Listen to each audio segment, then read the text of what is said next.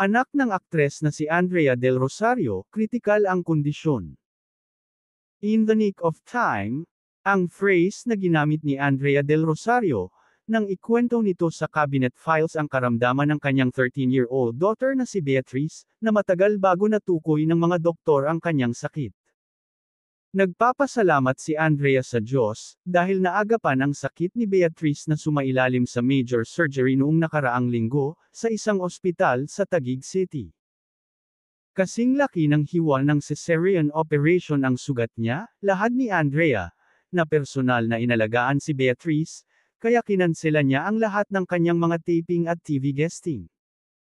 Napansin ni Andrea Del Rosario, ang kondisyon ng kalusugan ni Beatrice, nang magpunta sila sa Argentina kaya dinala niya agad sa doktor ang kanyang anak, nang bumalik sila sa Pilipinas. Isinilang ni Andrea si Beatrice sa Amerika noong May 2010, pero may congenital condition na ito, ang jejunal artesia. Ayon sa National Organization of Rare Disorder, ang jejunal atresia is a rare type of obstruction of the small bowel, affecting newborns. Patients with this disorder are born with a complete mechanical obstruction of the proximal small intestine. Sanggol pa lamang si Beatrice nang sumailalim ito sa apat na operasyon para magamot ang komplikasyon sa kanyang small intestine.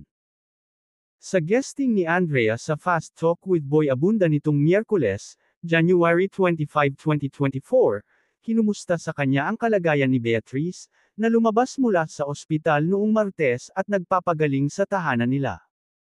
Medyo windang pa, but she's doing okay, sagot ng aktres.